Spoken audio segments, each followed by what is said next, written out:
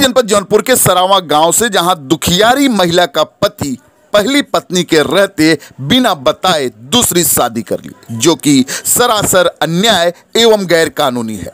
पीड़ित महिला ने जब न्यूज़ फ़र्स्ट नेटवर्क से संपर्क किया तो अपने सामाजिक दायित्वों का पालन करते हुए न्यूज़ फ़र्स्ट नेटवर्क की तेज तरार संवाददाता रेखा सिंह व रूपा मौर्य ने तत्काल मड़ियाहों पुलिस थाने में जाकर एफआईआर दर्ज करवाने में मदद की और आरोपी को तत्काल गिरफ़्तार करने की मांग की। साथ ही आरोपित सास, ससुर व ननद को आड़े हाथों भी लिया। योगी के सुशासन में महिला उत्पीड़न एक गंभीर समस्या बनकर के उभरा है। आइए देखते हैं तेज तरार संवाददाता रेखा सिंह की ये खास रिपोर्ट। तो क्या करेंगे? मैम आप ही बताइए। आज हम यहाँ आके पहुँचे सरावा गाँव। ये पीड़िता महिला है। बताइए क्या किया है आपके साथ? म, शहर का ससुर मार रहे हैं देवर मार रहे हैं नहीं, सब कोई हमें मार रहे हैं। मैं आठ साल से ई घर में छह साल में रुक के गई थी लेकिन इस घर में मुझे रहने नहीं दिया। वो बोल रहा है मुझे दहेज चाहिए मेरे मम्मी के पास दहेज नहीं बताइए हम क्या कर सकते हैं?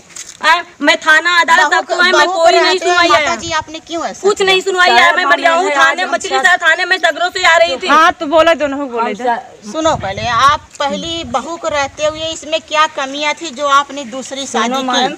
हम लोग बहुत व्यापार हो गया। हम छह साल से इनके है। एक मिनट दादाजी चुप रहिए। हम इनके रोवत है हम इतना इनके समझाए तो हर घर परिवार में तू रहा। हम रोए के रह गए इनके हाथ हम पकड़ पकड़ लीजिए इनका पूरा हाँ? तो शादी आप कर ली। अभी छब्बीस मार्च के शादी रहा आज विदाई दीदी चुप बोलने पर प्रधान साहब के मतलब। ना कुछ बोले। हम तुम भी एक महिला हो ना? हाँ, मैम, तुम्हारा पति दूसरी शादी करेगा तो तुमको कैसा लगेगा? मुझे लगेगा। कैसा लगेगा? कष्ट होगा मुझे। कष्ट होगा ना तो हाँ, मैम, उसको भी आज कष्ट हुआ है। लेकिन वो अपने आप से नहीं रह रही मैं। आज भी।